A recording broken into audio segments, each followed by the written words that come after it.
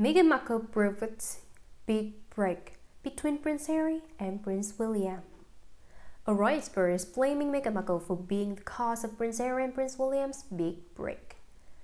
Royal author Robert Lacey shares some perspective about how things started to unravel between Prince Harry and his brother and the role that Meghan Markle played.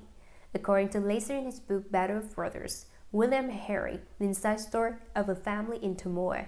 There have already been tensions between the two dukes for some time. Speaking on Entertainment Tonight, Lacey explained that one of the book's goals is to go past for the two Wales boys into the childhoods to see how they will spare shaped amid their parents' broken marriage, the royal robes, and the distortion that was placed upon them. The royal author wrote that the Duke of Cambridge was the Rand Bunshin's character, while his little brother was the good little boy who shook his thumb.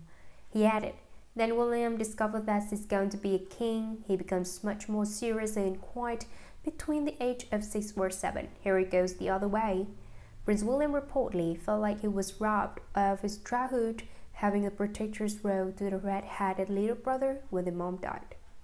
Meghan Markle provoking the brothers.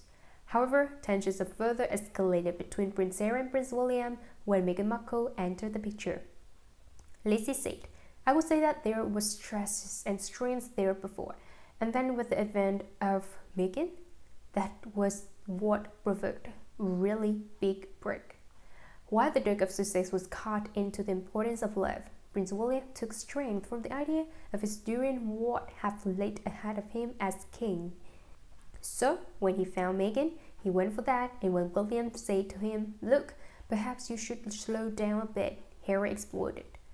And the author added that the dad of four then went to Uncle Charles Spencer, his mom's brother, and asked him to give Prince Harry advice to slow down his relationship with Meghan Markle However, Prince William's brotherly concern didn't go over well. Lacey explained Prince Harry rejected his brother's older brother's model.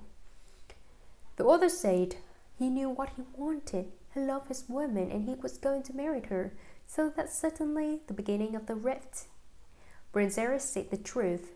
In the Sussexes 2019 documentary Meghan and Harry, an African journey, the 36 year prince was asked about the numerous reports that he and his brother are infield.